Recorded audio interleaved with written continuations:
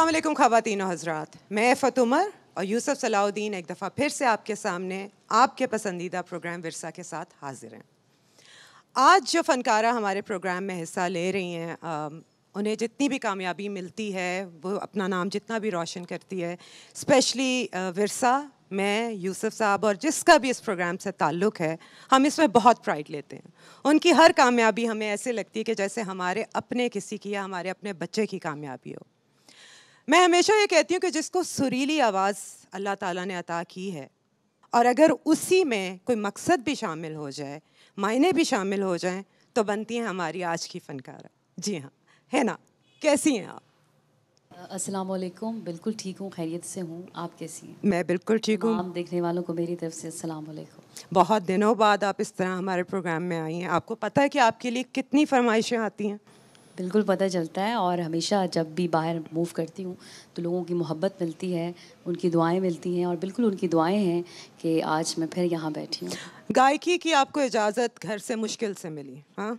बिल्कुल। और आपने एक शुरू में ही अपने आप से वादा किया था कि आप जो भी कलाम गाएँगी या जो भी पेश करेंगी उसमें कोई मकसद ज़रूर होना चाहिए। ज़्यादातर आप सूफियाना कलाम बिल्कुल। वो पढ़ती हैं गाती हैं। तो कभी कमर्शियल साइड पे आने का कोई इरादा नहीं? है बिल्कुल भी नहीं है। बिल्कुल भी नहीं। नहीं मेरा बिल्कुल इरादा नहीं है और मैं समझती हूँ कि मेरा मकसद जो है वो हुजूर की नात बुजुर्गान दीन का कलाम और आज चूँकि हम आ, उर्दू अदब के जो क्लासिक पोइट्स हैं उनके बारे में भी यकीनन चूँकि मैंने मास्टर्स किया उर्दू लिटरेचर में हम जानते तो बहुत ज़रूरी है कि सब मुझसे नाराज़ भी होते थे कि क्यों नहीं आप मतलब आप इस कदर खुशकिस्मत है कि इतनी छोटी से उम्र में आपको अपने मकसद का पता चल गया ये एल्बम सारा यूसुफ आपने कंपोज किया? ये एल्बम मैंने इसको कंपोज किया और ये अम, कुछ इस तरह भी होता रहा कि मसलन कोई चीज़ हिना ने मुझे दी कि इसको अंकल आप कंपोज करें। मसलन इसमें एक अम, बाबा बुल्ले शाह का एक कलाम है। और हिना खुद भी बड़ी अच्छी कंपोज़र है। She is not that she. She composes herself also आपको याद होगा वो अलामा साहब का जो कलाम जी बिल्कुल। अम, था वो क्या था है ना जो तुम्हारी जब इश्क सिखाता जब इश्क सिखाता है आदाब। खुदागाही खुलते हैं गुलामों पर इसरार शहनशाही। वो इसी ने कंपोज किया था बहुत अच्छी कंपोजिशन तो मैंने कहा मुझे इसने सुनाया मैंने कहा तो बड़ी अच्छी कंपोजिशन तुम यही गाओ। उन्होंने कहा नहीं नहीं आप एक दफ़ा ट्राई करें। सो फिर मैंने उसको कंपोज किया। इसी तरह मेरी एक दोस्त है Meenu Bakshi she is from Delhi Urdu की शायर है। उनका कलाम भी हाँ, सुना उनका कलाम भी वो इन्होंने जब वो आई थी यहाँ पिछले साल लिटरेचर फेस्टिवल में लाहौर के तो उन्होंने उनकी जो तकरीर थी उससे पहले हिना ने ये कलाम उन्हीं का कलाम मैंने कंपोज किया था और हिना ने विदाउट म्यूज़िक वैसे ही हॉल में पढ़ा था और बहुत दाद पाई। तो हमने उसको भी इसमें शामिल किया इसमें शामिल तो आपके किया लिए मुश्किल तो हुआ होगा हिना को जहन में रखते हुए कलाम चूज़ करने नहीं वो बात या ये है कि? नहीं नहीं नहीं ये मुझे हमेशा जहन में क्योंकि मैं जब भी कोई चीज़ कंपोज करता हूँ the first person who gets it is Hina. क्योंकि मैं अपनी भतीसी आवाज़ के अंदर जो भी जिस तरह भी मैं आपको सुने माइका- आज उनसे भी। तो मैं इसको व्हाट्सएप कर देता हूँ कि भाई ये आधे घंटे के बाद जब उसकी वापसी होती है तो वो कुछ और वो ही सुरीली होती है।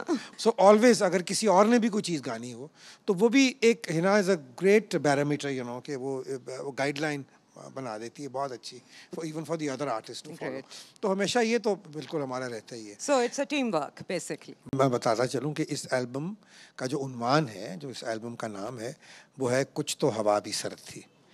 और ये हमारा परवीन शाकिर। का ट्रैक भी है। शायद जिन लोगों ने सुना हो उस वक्त नुसरत फ़तेह अली ख़ान साहब ने भी इसको इस इस इस गज़ल को गाया था शायद। आई एम श्योर और शायद गुलकारों ने भी गाया। पहली जो आप नात पेश कर रही हैं बहजाद लखनवी की, उसमें वो यही है कि वो इस एल्बम का हिस्सा नहीं है, लेकिन हमारी जो पिछली एल्बम थी जो हमने नातों पे की थी एंड ऑब्वियसली हिना प्रोग्राम का आगाज़ इसी से करना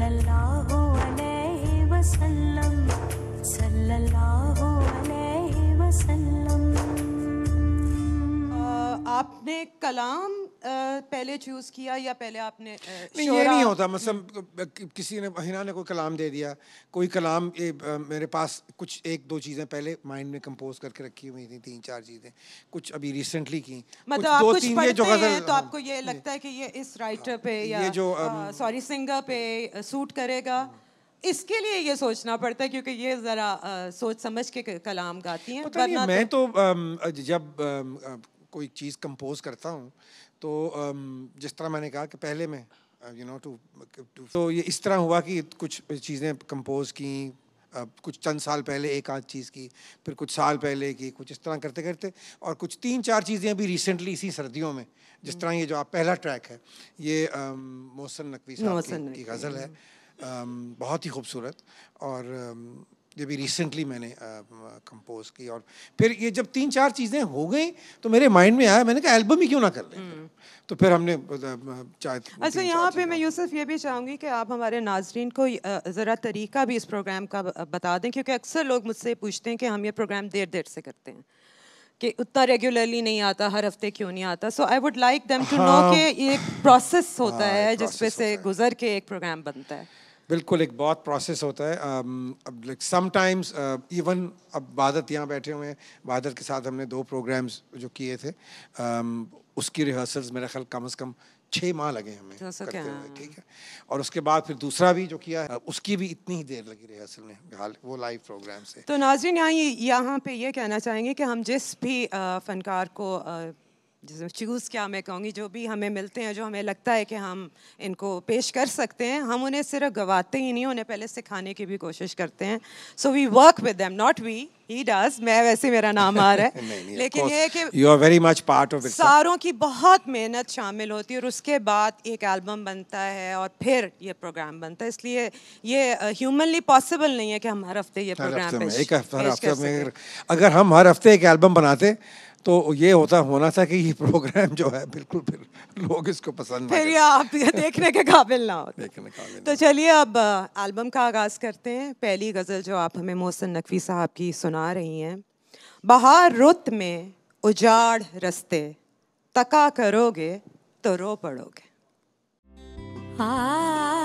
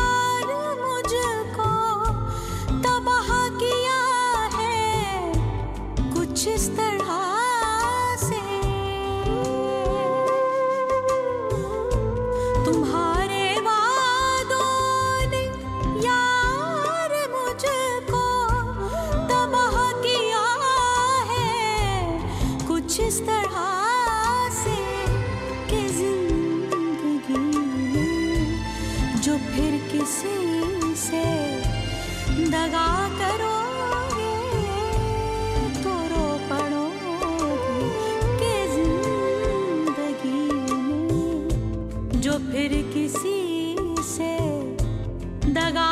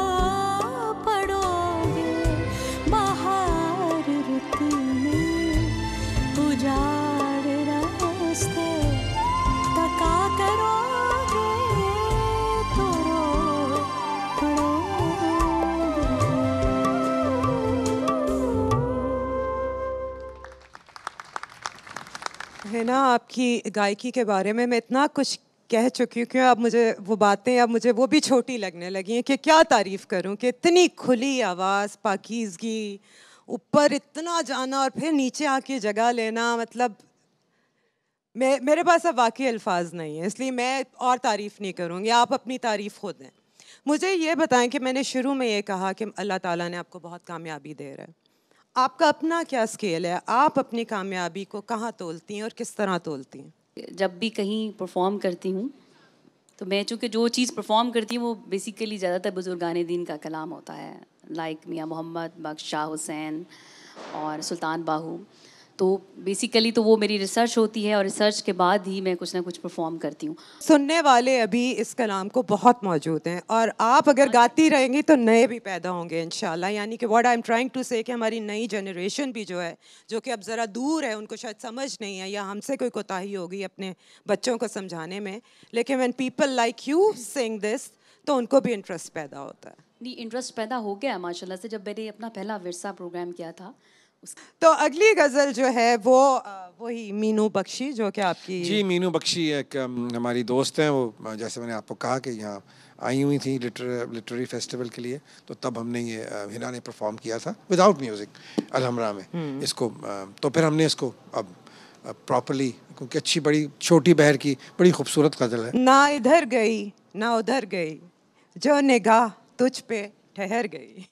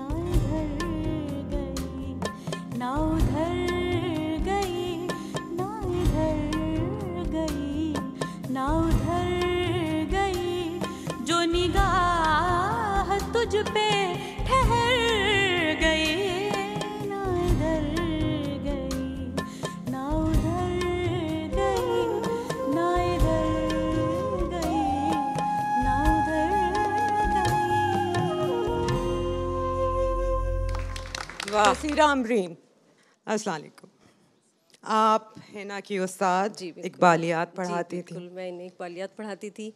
और इकबालियात का ये है कि इन्होंने खसूसी मुताला एक पेपर है हमारा लाजमी पेपर है। और इन्होंने वो पढ़ा और इनकी दिलचस्पी इतनी ज़्यादा थी उस पेपर से कि ये उस दौरान में भी अ, अच्छा ये बात बीच में एक दिलचस्प है कि हिना सिर्फ़ तरन्नुम से ही अच्छा नहीं पढ़ती इनका तहतुल लफ्ज़ भी बहुत अच्छा है। नहीं नहीं हमें हमें तो पता है लेकिन यस ये टीचर ऑडियंस को जी बिल्कुल। तो ये तैतु लफ्ज़ में भी बहुत अच्छी रीडिंग करती थी तो मैं अक्सर जो है कलाम की रीडिंग इनसे करवाया करती थी। तो अब ये है कि शौक़ इल्म इनका कम नहीं हुआ एम करना चाहती हैं और इंशाल्लाह पीएचडी भी करेंगी और लफ्ज़ों पे रिसर्च करती हैं ख़ास तौर पे इकबाल के हवाले से। मेरे ख़्याल में इकबाल का जो खुद ही का तस्वुर है, हिना इसको पा गई हैं। वो जो अलामा कहते हैं ना कि सेल्फ एवेल्यूएशन तो इन्होंने एवेल्यूएट कर लिया है कि इनके अंदर कौन सी सलाहियत। तो हिना ने, माशाल्लाह, एक, जिसको अलामा के अल्फाज में मैं समझती हूँ कि दिल की रम्स पाना। अलामा का शेर है कि जिस रोज़ दिल की रम्स मुगन्नी समझ गया। आपके अपने फ़ील्ड से ही शेर ताल्लुक़ रखता है कि जिस रोज़ दिल की रम्स मुगन्नी समझ गया, समझो तमाम मरहला हाय हुनर है तय। तो आप दिल की बात समझ गई हैं दिल की रम समझ गई हैं कि आपको किस तरफ़ जाना है। ये सिर्फ़ फसाना और फसू नहीं चाहती बल्कि ज़िंदगी पर मैंने देखा है कि उसका इतलाक़ चाहती हैं कि थोड़ी सी हरारत पैदा हो थोड़ा सा जज्बा पैदा हो और माशाल्लाह ये इसमें कामयाब है। ये शुरू से ही ज़रा बकरी टाइप की थी अपनी क्लास में? जी बिल्कुल। इसमें तो कोई शक ही नहीं है। ये बिल्कुल मुख्तलिफ़ मिजाज की स्टूडेंट थी। स्टूडेंट तो बहुत फर्मा बरदार थी लेकिन ये कम गो हिना कम गो हैं कम दोस्त बनाती हैं, लेकिन दोस्तों में बहुत ज़्यादा फिर वो जो सिलेक्ट सिलेक्टिव इनके होते हैं, लोग उनके दरमियान ये खुश रहती हैं। और कह कहा भी लगाती हैं लेकिन ज़्यादातर ये क्लास में कम गो होती थी लेकिन हर चीज़ में हिस्सा लेती थी। बड़ी टाइप की पर्सनालिटी है बिल्कुल बल्कि सहेलियों पर इनका बड़ा रोब होता था। माशाल्लाह इन्होंने मेहनत बहुत की है। मेहनत इनमें शुरू से बहुत जज्बा था कि मैं आगे जाना चाहती हूँ और किसी हवाले से मैं अपनी सलाहियत को अपनाना चाहती हूँ नुमाया करना चाहती हूँ। और मैंने देखा कि इसमें माशाल्लाह बहुत कामयाब है। लेकिन एक मेरी ख्वाहिश भी है जिसकी तरफ़ हिना कभी भी नहीं आती। और शायद जो है आपकी विसातत से जो है हिना इस तरफ़ आ जाएँ कि ये पर्शियन का जो इकबाल का फ़ारसी कलाम है उसको भी थोड़ा सा वो बहुत ज़्यादा म्यूज़िकल है। इकबाल की फ़ारसी शायरी जो है वो बहुत मुतरनम है। के अलावा कुछ कहना चाहें हिना को? बहुत सी दुआएँ हैं। मैं तो मैम का बहुत शुक्रिया अदा करूँगी कि आज इनकी तबीयत बहुत ख़राब थी और मैंने रिक्वेस्ट की कि आपने ज़रूर आना है और आपकी मौजूदगी मेरे लिए बहुत ही खुशी का बायस बनेगी। अलामा का कलाम हमें सुना रही हैं। वो हर रास के मुझको सिखा गया है जुनू खुदा अगर नफ्स जब्राइल दे तो कहूँ।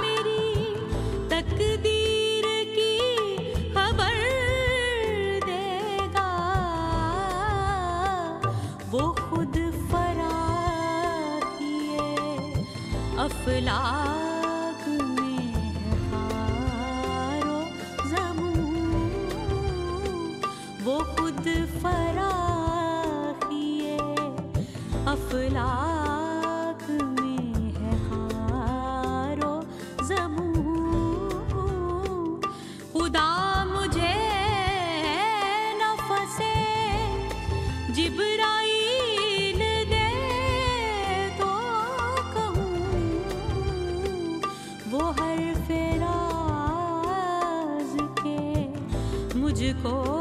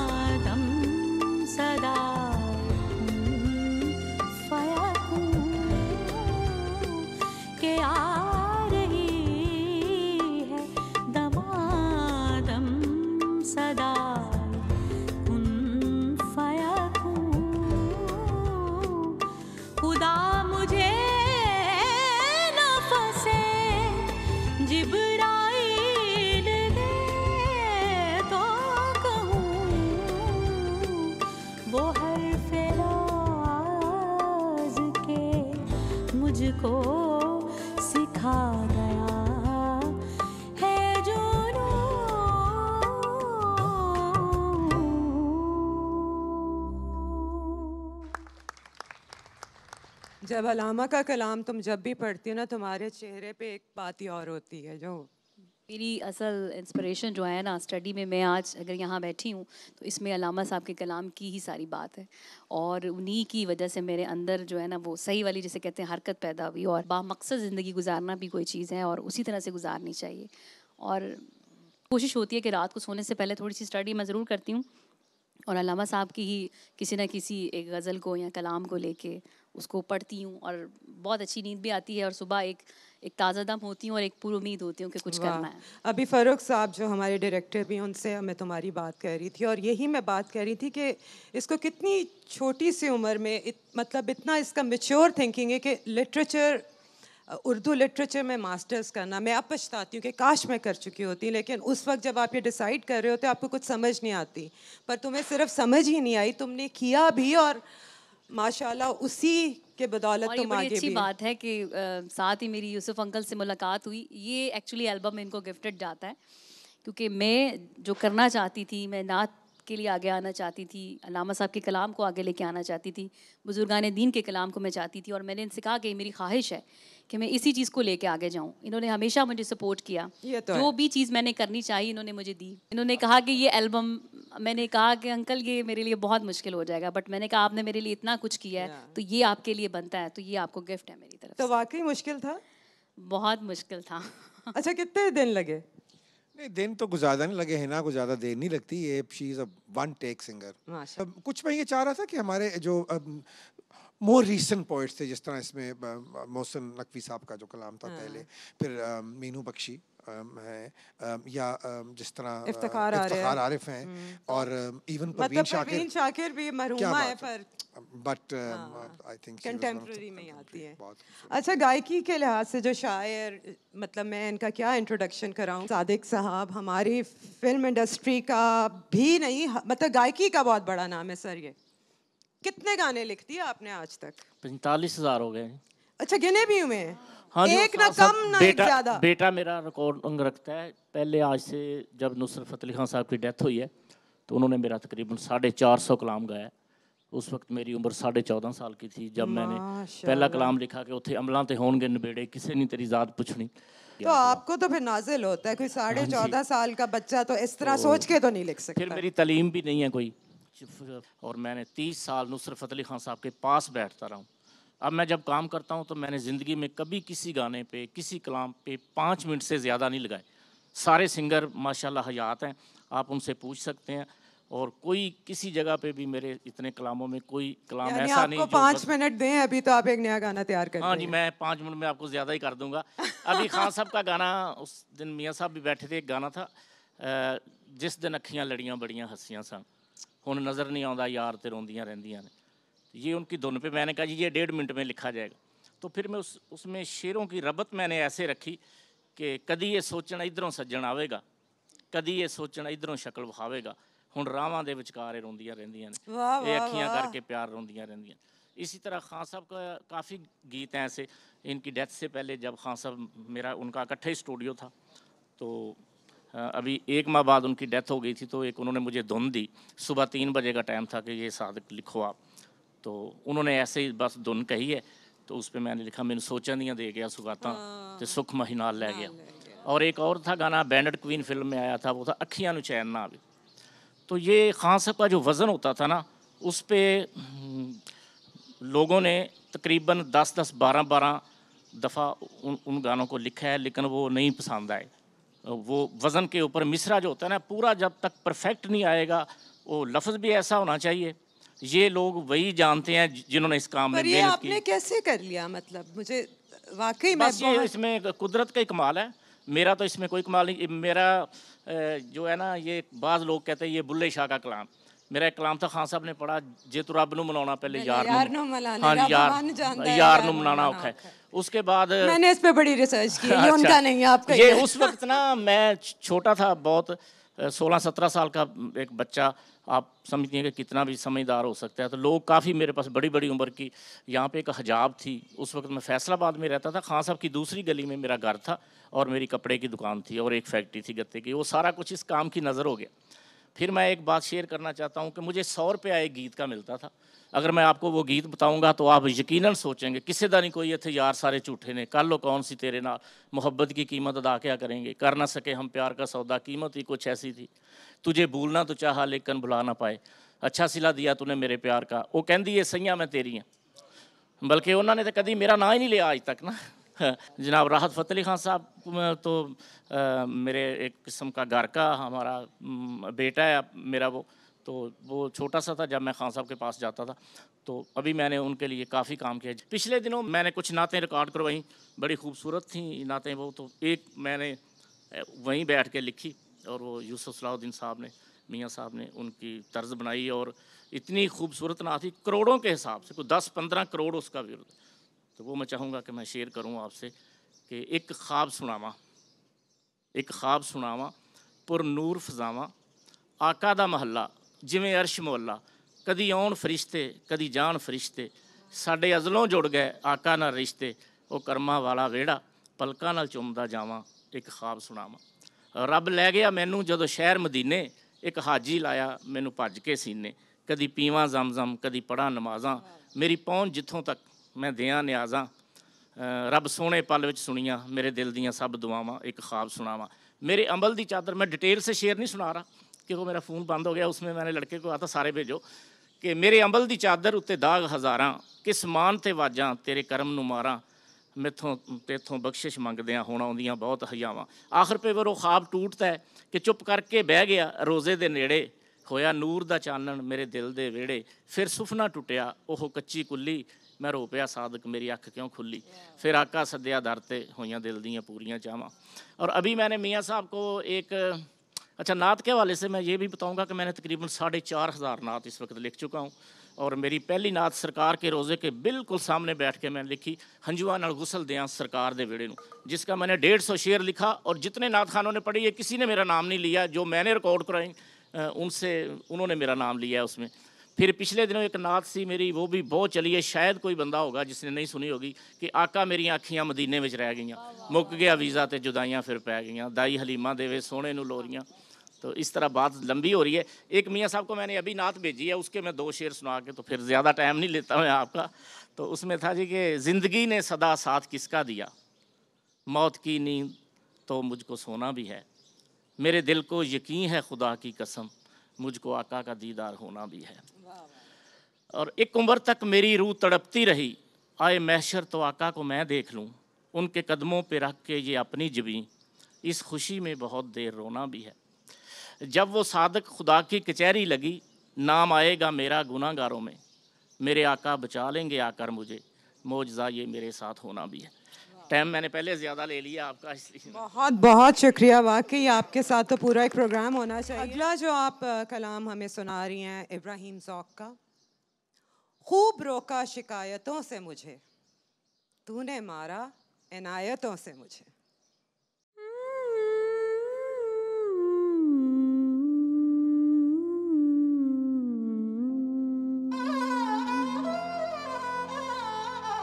खूब रोका शिकायतों से मुझे खूब रोका शिकायतों से मुझे तूने मारा तूने मारा इनायतों से मुझे खूब रोका शिकायतों से मुझे खूब रोका शिकायतों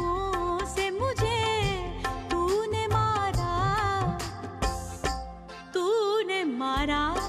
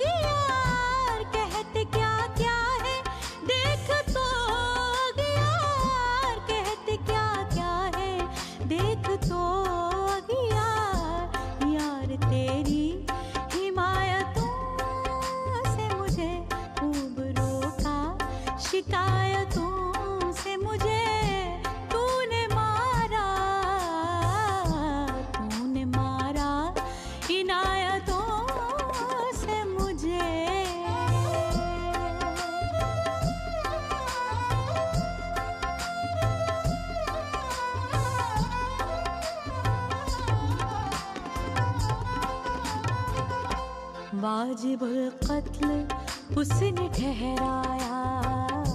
वाजिब कत्ल उसने ठहराया।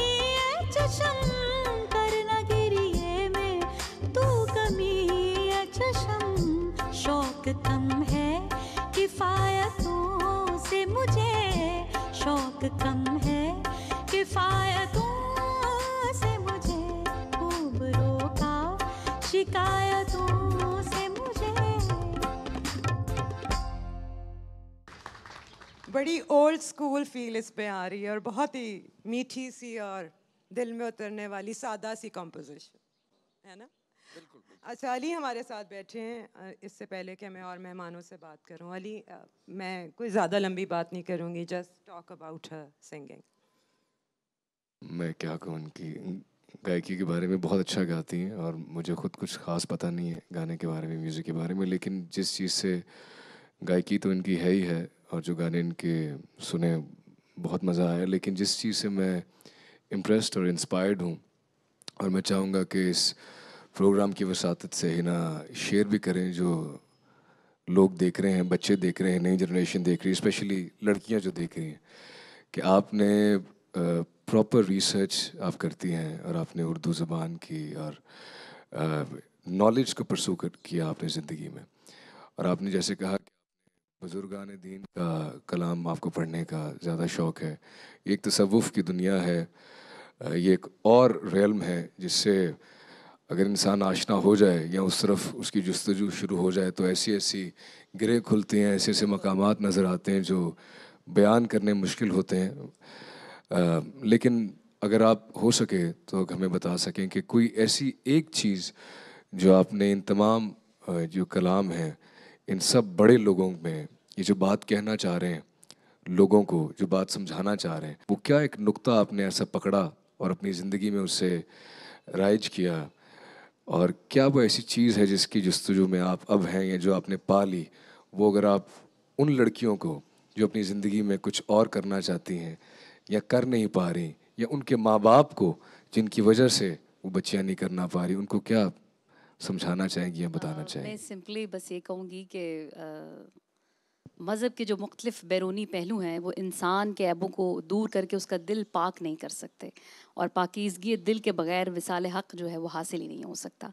तो मेरा ख़्याल है कि अगर आप पूरी नेक नियति, पूरी अखलास पूरी ईमानदारी के साथ जिस भी फ़ील्ड में जाना चाहते हैं, अगर आपके अंदर अखलास है तो डेफ़िनेटली अल्लाह ताला खुद ब खुद आपके लिए रस्ते खोलता चला जाता है। ईमान और अखलास और नीयत और ईमानदारी ये बहुत ज़रूरी है। ये अगर आपको मिल जाए तो फिर अल्लाह पाक खुद ब खुद आपके लिए आसानी करता चला थैंक यू सो मच बहुत मुझे मज़ा आया और जो आपकी पहली नात के बाद जो आपने वो गाई थी वो बहुत ही खूबसूरत थी। वो मैं इसकी रिकॉर्डिंग इनसे लूँगा।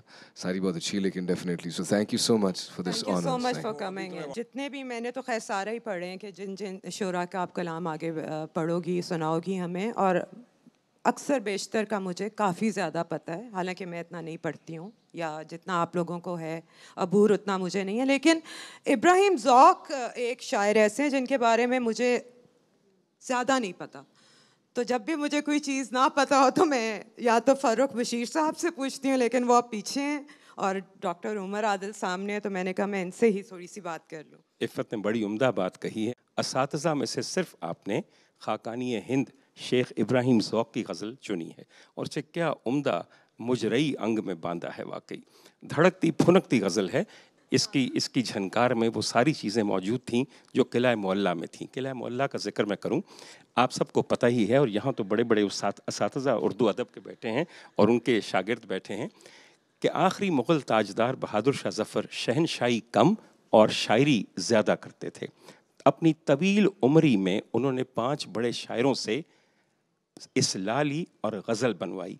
इनके नाम बिल तरतीब यूँ हैं, शाह मोहम्मद नसीरुद्दीन नसीर, हकीम इज़्ज़तुल्ला इश्क, मिर्ज़ा काजिम हुसैन बेकरार, शेख इब्राहिम ज़ौक और मिर्ज़ा असदुल्ला ख़ान गालिब। इन तमाम में से जो सबसे तवील रिश्ता तलमीज़ रहा, जो तकरीबन 48 साल और 9 महीने पे मुहित था, वो बहादुर शाह जफ़र का शेख इब्राहिम ज़ौक के साथ रहा। गालिब के हम असर थे, मगर गालिब तो आने वाले ज़मानों के, आपके ज़मानों के शायर थे। मगर ज़ौक ख़ुद अपने ज़माने के बेहतरीन तर्जुमान थे, इसीलिए मलिकुल शोहरा गालिब की मौजूदगी में poet laureate of the Mughal darbar Ustad Sheikh Ibrahim खां ज़ौक थे। खाकानी हिंद और खाकानी को भी आप जान जाइए, बारहवीं सदी का बहुत बड़ा फ़ारिस का फ़लसफ़ी शायर है और किसी को खाकानी कहना, उर्फ़ी कहने से या सादी कहने से बहुत बड़ी बात है। हर वक्त दरबार में, चूँकि वहाँ पे अब फौज तो रही नहीं थी, चश्मक सिपाहियों की जगह शायरों के दरमियान हुआ करती थी। आप खुद सोचिए कि एक दरबार के अंदर दाग, मोमिन, जौक, गालिब शेफ्ता सब मौजूद हों तो वहाँ क्या गज़ब का रन पड़ता होगा। इसलिए मैं ज़िक्र कर रहा हूँ कि बड़ी बात है कि आज 27 बरस बाद 27 बरस बाद मियाँ साहब हमारे किसी नशरियाती इदारे ने ज़ौक की कोई गज़ल रिकॉर्ड की है। अगर आप में से कोई जो लोग बैठे हैं मुझे दो गज़लें ऐसी बता दें जो ज़ौक की कभी किसी मुगन्नी की आवाज़ में रिकॉर्ड की गई हूँ तो मैं मान जाऊँ आपको। मैं ये बात बिल्कुल सही कर आपको नहीं पता तो फिर किसी को मैं वैसे अर्ज़ करूँ लेकिन this is all very good बिल्कुल। और है ना जो इसमें उर्दू अदब की एमए की क्लासेस में बातें नहीं वो थोड़ी सी जेब दास्तान के तौर पर कबूल कर लो। आखिर कुछ मज़ा ज़बान का भी होना चाहिए। Thank you so much doctor साहब बड़े इंफॉर्मेटिव डॉक्टर साहब मतलब जैसे इस अच्छा जी, अगली गज़ल पे आइए। अगली गज़ल हमारे कंटेम्प्रेरी राइटर्स में से one of my favourite Iftikhar Arif साहब की है। हामी भी ना थे मुनकर गालिब भी नहीं थे। हम अहले तजब्जुब किसी जानब भी नहीं थे।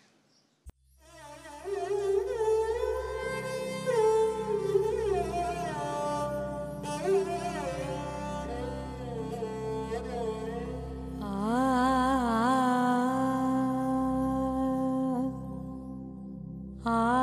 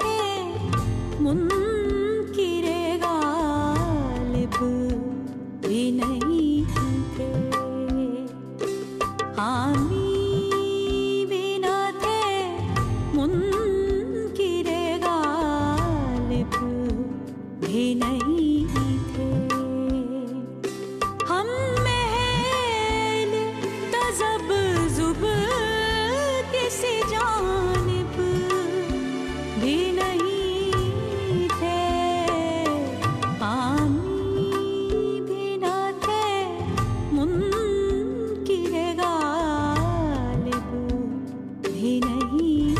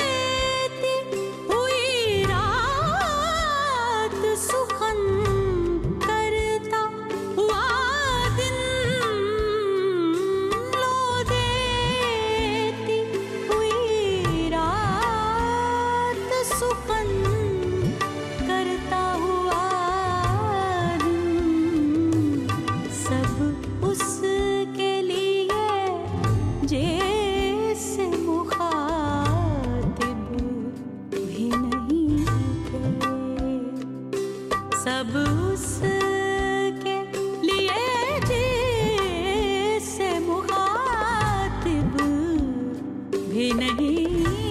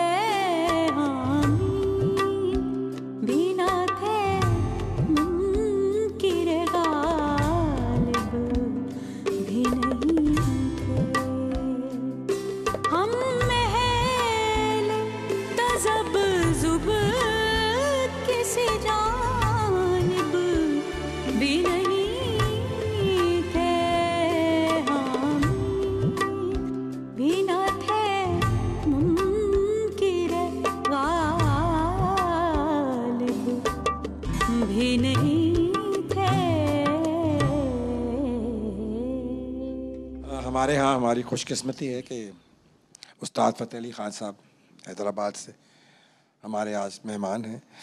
खान साहब, आपकी तशरीफ़ आवरी का शुक्रिया। क्या कहेंगे आज हम, आज की शाम के बारे में आप? कि विरसे जैसा प्रोग्राम अभी कहाँ भी नहीं हो रहा, किसी इदारे में नहीं हो रहा, बहुत अच्छा हो रहा, बहुत लाजवाब किस्म का।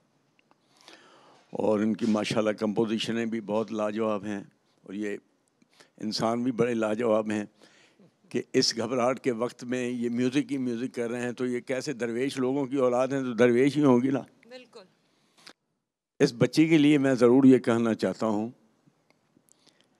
कि सूफ़ी कलाम हो या कोई भी कलाम हो रागदारी हो गज़ल हो ठुमरी हो काफ़ी हो कुछ भी हो सुर के सिवा किसी गाने में भी मज़ा नहीं होता, जिसमें सुर ना हो, लोच ना हो, जिसमें आवाज़ की फरावानी ना हो। और आवाज़ को बनाने के लिए कई सदियाँ गुजर जाती हैं, क्योंकि हमारा भी विरसा है ये क्लासिकल म्यूज़िक का। और क्लासिकल म्यूज़िक जो है, वो बेस मौसीकी है, हर म्यूज़िक जो है इसी में से निकला है, कि चार किस्म की आवाज़ होते हैं। ये ना कोई म्यूज़िक डायरेक्टर बतला सकेगा, ना कोई गाने वाला, ना कोई सिंगर, ना कोई दूसरा, ना तीसरा। चार किस्म के आवाज़ होते हैं। अल्लाह की तरफ़ से जो भी हैं, यूसुफ सलाउद्दीन साहब बैठे हैं, बीबी बैठी हैं, हम लोग सब हैं, चार किस्म की आवाज़ होते हैं। जो सबसे अच्छा आवाज़ होता है, उसका नाम है तर पंखिया वो चुपड़ा हुआ भी होगा और उड़ेगा भी। तरपंखिया। दूसरे नंबर का जो आवाज़ है, उसका नाम है नाद। वो नीचे ऊपर एक जैसा होगा, ऐसे नहीं हो कि नीचे और हो, ऊपर हो, ये ऐब है। एक जैसा, जैसे मैडम नूरजान का आवाज़ था, खुला हुआ, और नीचे ऊपर एक जैसा, उसका नाम था नाद वो दूसरे नंबर का है। तीसरे नंबर का आवाज़ जो है, उसका नाम है मघई। ये मैं आज तक किस, कभी बात मैंने की नहीं है तो यहाँ पर इनसे मैं कोई पर्दा रखना नहीं चाहता। तीसरे नंबर का जो आवाज़ है, उसका नाम है मघई।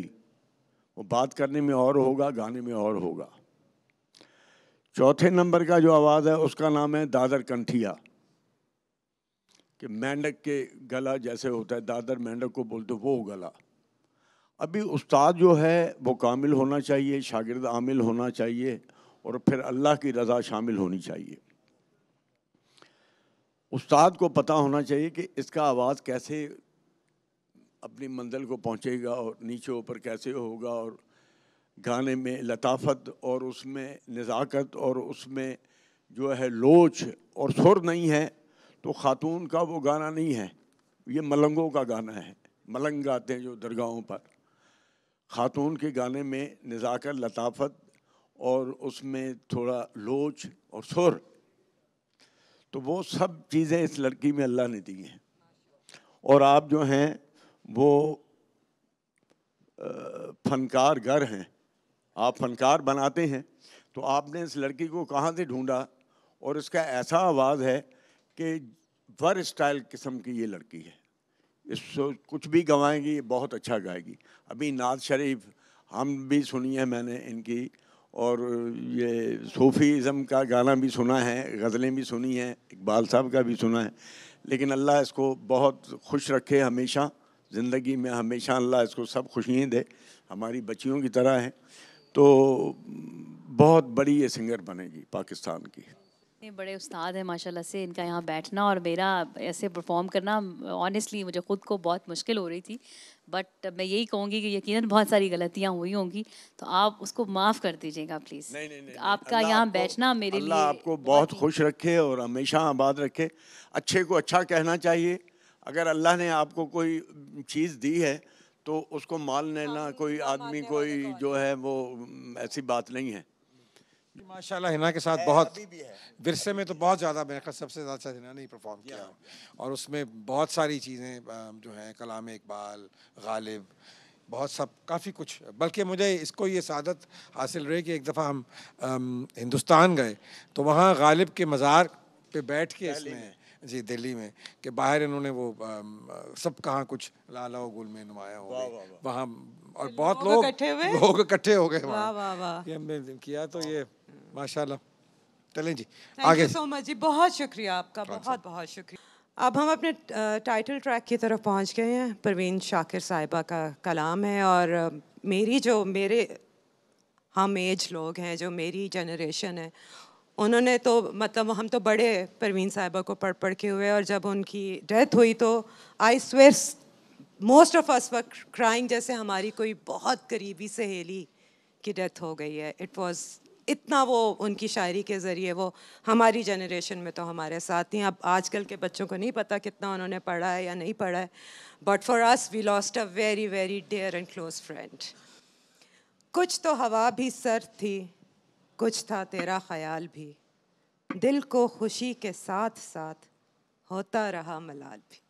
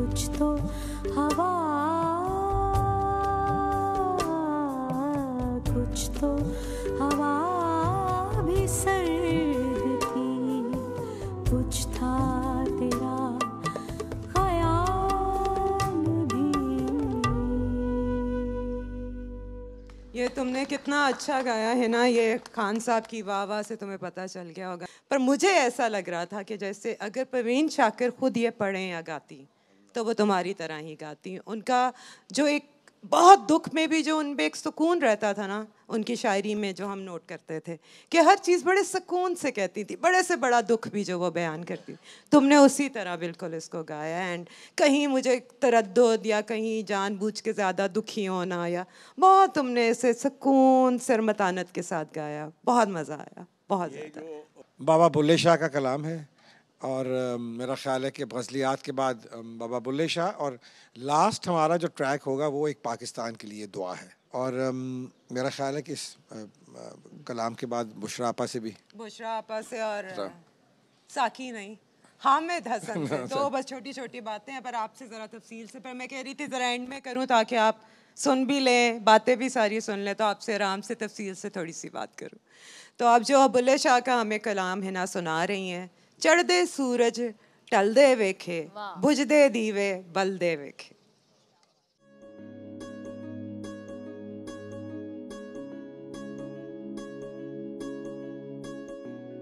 ਦੁੱਖਾਂ ਮੈਨੂੰ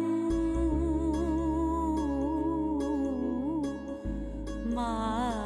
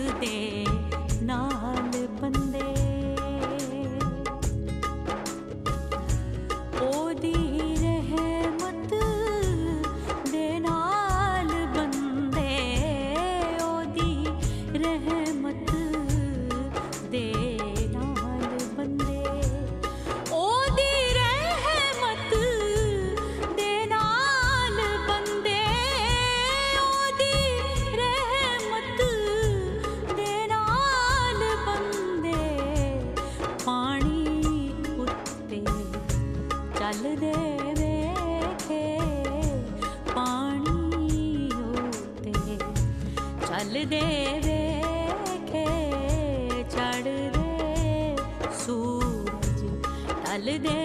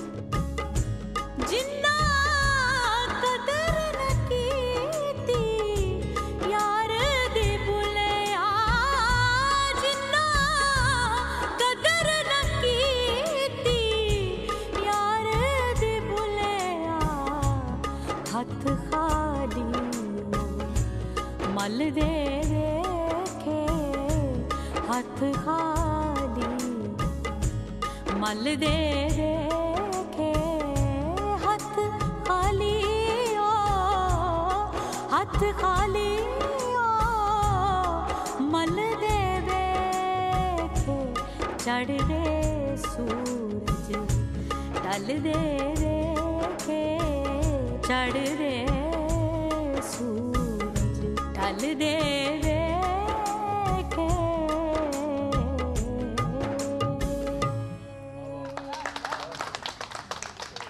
हमारे मुल्क का एक बहुत बड़ा नाम बेगम बुशरा रहमान साहिब आज हमारे प्रोग्राम में है तो ये तो हो नहीं सकता आपसे बात ना हो। अदब से भी आपका ताल्लुक, सियासत से भी आपका ताल्लुक, ड्रामे से भी आपका ताल्लुक और और भी बहुत कुछ किया। आजकल क्या हो रहा है? आजकल तो यहाँ बैठे हैं आपके सामने और एक बहुत ही खूबसूरत मौसीकी और सुरों से भरी हुई रात इस हवेली में उतरी है। चमकती हुई रात है, चाँद है फ़िज़ा है माहौल है शायरी है आवाज़ है शहर है डूब से गए हैं। वाह वाह। मैं सबसे पहले तो यूसुफ को मुबारकबाद भी दूँगी और शुक्रिया अदा करूँगी मुझे यहाँ बुलाया। आपका बहुत शुक्रिया कि आप आई। नहीं ये मेरी खुश नसीबी है कि मुझे बुलाया। और मैं तो इतनी खूबसूरत रात है कि मैं जब हिना को सुनती हूँ ना पहले भी और अब भी बताऊँगी दो बातें करूँगी, एक शायरी के बारे में और एक हिना के बारे में। शायरी तो ये है कि हिना ने जो गाया है ना, सबसे पहले नात रसूल मकबूल सल्लल्लाहु अलैहि वसल्लम से इब्तदा की है। हिना, तुम्हारी खुश नसीबी की इब्तदा ही ये है कि तुम हमेशा हजूर पाक के नाम से, जिस महफिल में मैं तुम्हें देखती हूँ, तुम पढ़ती हो। दूसरा इसने कहा है कि मैं अपनी आवाज़ को एक मकसद के लिए इस्तेमाल करूँगी। और यूसुफ साहब शायरी को और आवाज़ को सूफिया ने भी एक मकसद के लिए इस्तेमाल किया। बिल्कुल। ये शायरी है क्या चीज़? और आवाज़ क्या है? आवाज़ अल्लाह ताला का एक बहुत ही बहुत ही अजीम तोहफ़ा है। ये एक सलीका है जो तुम करती हो। इसलिए मुझे उम्मीद है इन तुम बहुत तरक्की करोगी, बहुत आगे जाओगी। एक और बात कि ये सूफिया कराम के कलाम को गाती हैं। तो सूफिया ने अशार में तबलीग की। सूफिया कराम ने तज़किया नफ्स की तबलीग अपने शेरों में की। और तमाम सूफ़ी बर सग़ीर के तमाम सूफ़ियों ने तज़किया नफ्स अपने शेरों में कहा। और उन शेरों से उन्होंने गा के भी किया और धमाल करके भी किया। और अब जब हमारे बड़े अच्छे मूसीकार, गुलकार ये गाते हैं तो ये एक पैगाम है जो आगे पहुंचाते हैं। सूफिया को गाना, इकबाल को गाना एक पैगाम है। ये वो पैगाम है, जब आप, मैं, मेरे जैसी औरत ज़बानी बोल रही हो तो किसी के दिल में नहीं उतरेगा, मगर तुम्हारे जैसी आवाज़ जब गा रही हो तो दिलों में उतर जाएगा। हिना, तुम्हारे लफ्ज़ों का तलफ़ बहुत अच्छा है। मैं किसी को गाता हुआ सुनती हूँ ना नई नस्ल में से। मुझे बड़ी तकलीफ़ होती है, यूसुफ। वो लफ्ज़ों को ज़िबा करते हैं। किसी लफ्ज़ को सही अदा नहीं करते हमारे बच्चे। ना पंजाबी का, ना उर्दू का। और ना किसी से पूछते हैं। इसी तरह जब इसने सूफिया कराम को गाया, जब दूसरे शायरों को गाया, उन शायरों के अल्फाज के कल्चर और मिजाज के साथ इस बच्ची ने गाया। ये बहुत खूबसूरत बात है। और इसका क्रेडिट तुम्हारे उस्तादों को भी जाता है। जी तो नहीं चाहता कि ये रात कभी ख़त्म हो लेकिन जब ये गा रही थी ना और जो समा बाँध रही थी तो वो जो पहली गज़ल गाई थी ना कि नज़र उधर गई वाली नज़र उधर गई वाली तो उसमें मैं कह रही थी मैं मेरे जहन में शेर आ रहा था कि जब हिना गा रही हो ना तो वक्त भी आके रुक गया रात वहीं ठहर गई। बहुत शुक्रिया। थैंक यू सो मच आज तो जितनी है ना तारीफें हो गई आज नींद तो नहीं आनी। ऐसा ज़रूर होगा हर ज़र्रा इस वतन का अब कोहे तूर होगा। हमारे वतन के लिए दुआ है। मुझे बताएँ कि इसमें तीन शायर का नाम क्यों लिखा जी, है? इसलिए कि इसका जो इब्तदाई शेर है वो um, अमजद इस्लाम अमजद से हमने लिया था। ओके। और uh, इसके जो um, uh, बेसिक जो um, जो अस्थाई और एक अंतरा है पहला वो अब्बास ताबिश ने लिखा है। और जो लास्ट दो अंतरे हैं वो शेर जो हैं इसके वो uh, शकीला शकीला ज़मीन हमारी जो बिल्कुल। दोस्त है हमारी। हाँ ये दोस्त है।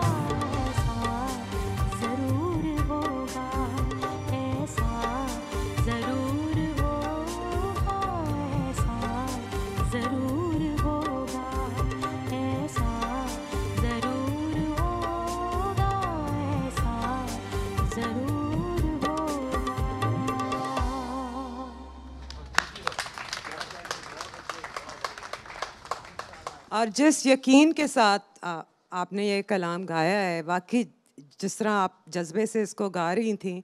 बस यही यकीन हमारी दुआओं में हमारे अमाल में शामिल हो जाएगा तो ऐसा ज़रूर हो जाएगा। बिल्कुल क्योंकि वतन से मोहब्बत ज़िंदा कौमों का ईमान है और यही मोहब्बत कौमों को दुनिया में सरबुलंद भी करती है। तो सब लोग अगर अपनी अपनी जगह अपना किरदार अदा करते रहेंगे तो इन नियति से सच्चाई से करते रहें फ़िक्र तो और अमल अगर दोनों साथ मिल जाएँगे तो फिर इंशाल्लाह। बहुत आगे जाएगा तुम्हारी इसी दुआ के साथ आज का प्रोग्राम ख़त्म करने की इजाज़त चाहते हैं मैं इफ़त उमर और यूसुफ सलाउद्दीन बहुत जल्द, इंशाल्लाह, एक और अच्छे से प्रोग्राम के साथ आपकी खिदमत में हाजिर होंगे। तब तक के लिए अपना ख्याल रखें। और पाकिस्तान, जिंदाबाद।